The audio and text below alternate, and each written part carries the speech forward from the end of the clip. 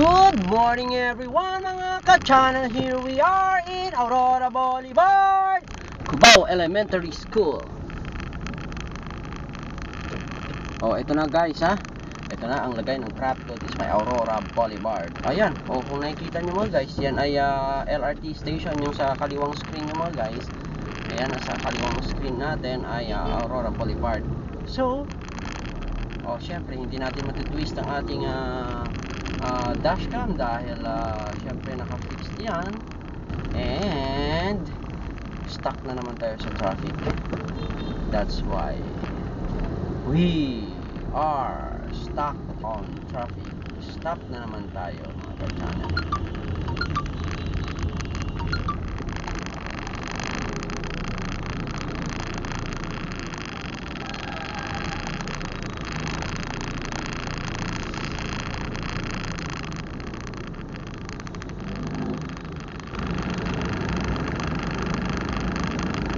O ito mga guys, alam nyo ba, ito ay EDSA, corner Aurora Boulevard.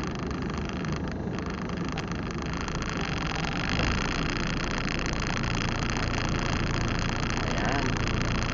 Mga guys, ang nasa harap nyo na screen yan, nag-u-turn yan.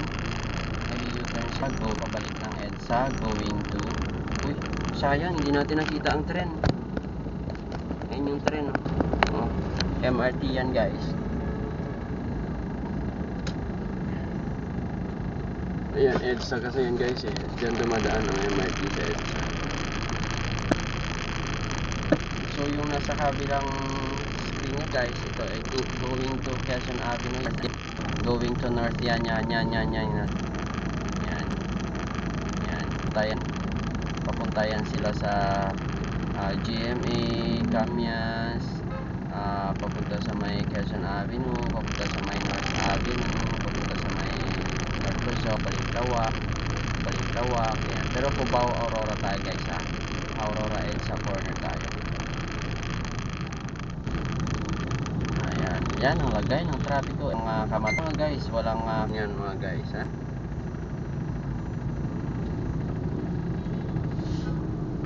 Oto na tayo, maabutan na naman tayo ng stop pag hindi tayo tumiskarte dahil yung mga nag-left turn dyan ha.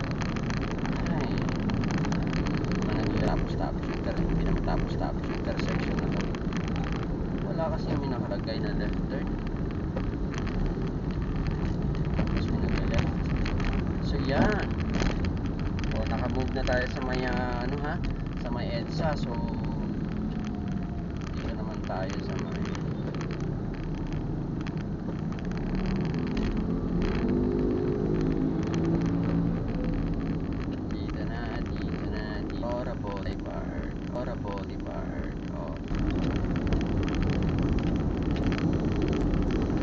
yan mga guys. Yan mga guys ha. Thank you for watching everyone. And have a blessed what do you call this? Tuesday? Is it uh, Wednesday? I mean Wednesday. Wednesday. It's uh, Wednesday. Uh, November 10, 2021. The time is so fast. The days, the, the weeks, the month. So fast. Alright, mga guys.